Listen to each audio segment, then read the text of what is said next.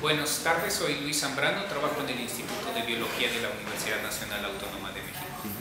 A un año de los golpes de la glorieta de las quinceañeras hemos aprendido bastante.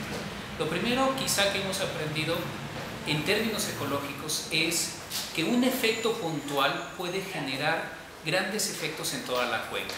Esto es, no podemos aislar a la supervía, la zona que afectó a la supervía del resto de la Ciudad de México.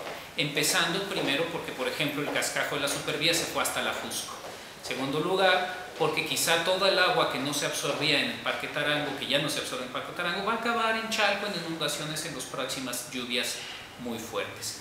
Como eso, como esos errores que se tuvieron con la supervía por pensar en efectos puntuales y no en toda la cuenca que significa la Ciudad de México, estamos siguiendo el mismo patrón a la hora de pensar en la supervía oriente, esta que va a destruir Xochimilco al pasarla por encima y cortando 90 hectáreas que están de la zona norte con la zona chinampera que está en la zona sur.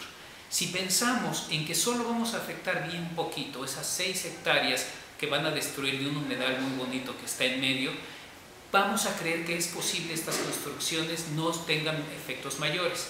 La experiencia previa nos ha dicho que no es así y por lo tanto debemos de repensar que esta supervía oriente, esta supervía que va a pasar por, la, por encima de Xochimilco, puede tener efectos mucho más graves que lo que ha tenido la supervía poniente. En otras palabras, es posible que perdamos Xochimilco con esta construcción.